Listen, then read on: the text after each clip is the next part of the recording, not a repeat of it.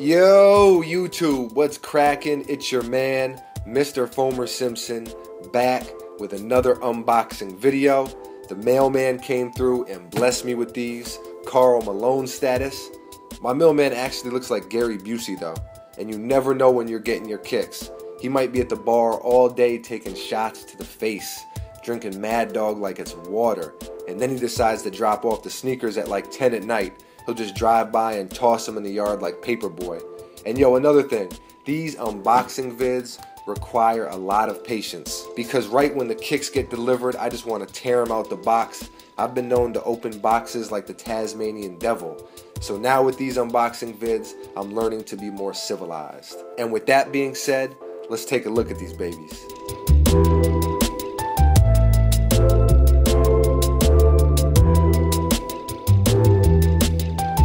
Nike sportswear box, as you can see. Ah, man. These have been on the hit list for a minute. Big ups to the homie Juicemanji, actually. He had these in one of his recent videos, and I told myself I had to stop bullshitting and find a pair already. And here they are. So without further ado, drum roll, please.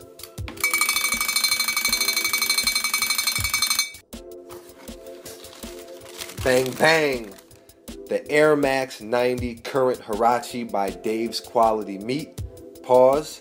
But wow, these are sick. Holy shit, this bacon colorway is ill. Now, normally I don't really dig the hybrid thing too much. You guys know how I feel about Kintaco Hut. Some things you just got to keep separate, but I love the way these came together. The execution on these is beautiful. You got this Egyptian linen on the toe box, super high thread count, cream laces, Word to Wu Tang. And peep the Porky the Pig swoosh. So vicious. They even threw a couple bacon slabs on the back. How crazy is that? A little bit of reading material. Very nice, very nice. Ooh, bar graph. Light work. Almost forgot about these extra laces. Got a brown pair and a red pair.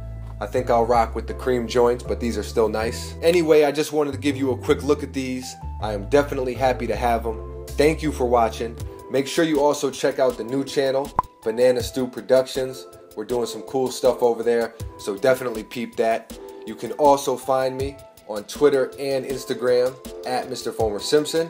So hit me up, let's chop it up. But there's not too much else to talk about. So until next time, Mr. Foamer Simpson out. I really hope this is double box because right now it ain't looking too good.